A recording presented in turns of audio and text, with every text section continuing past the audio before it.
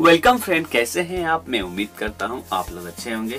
Friends आज आपको हम मोनोब्लॉक की मोटर का एम्प्लेयर जो होता है, उसको कैसे चेंज करते हैं इसके बारे में बताएँगे और सिंपली कैसे चेंज करना है इसके बारे में बताएँगे।